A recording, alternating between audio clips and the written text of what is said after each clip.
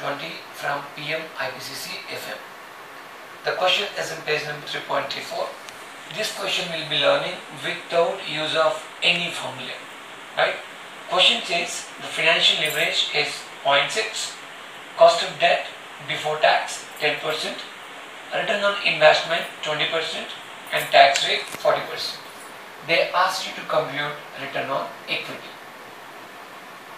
In these cases, though the sum looks simple, how we solve this question without using any formula.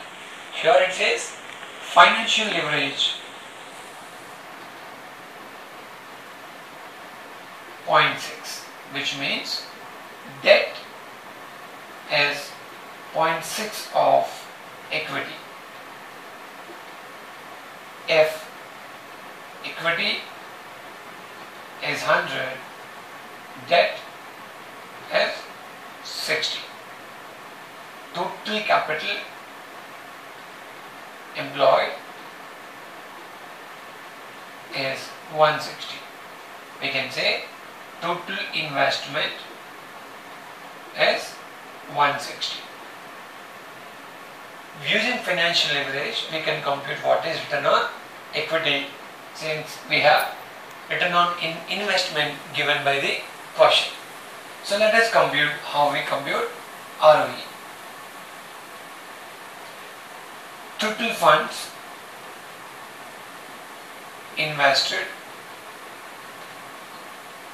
160 return on investment we can say EBIT is 20% which is 32 and your interest which is 10% of 66 and your EBT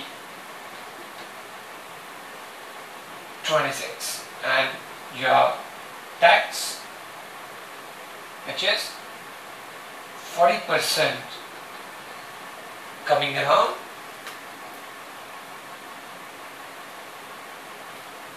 ten point four zero. Then return available to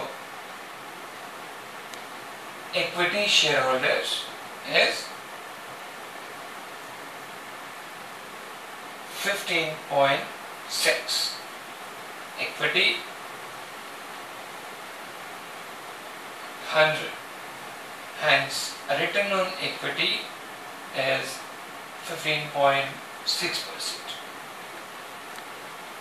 Many of us having a phobia of remembering formulas, but without remembering any formula, this question can be solved using financial leverage to identify the debt equity ratio.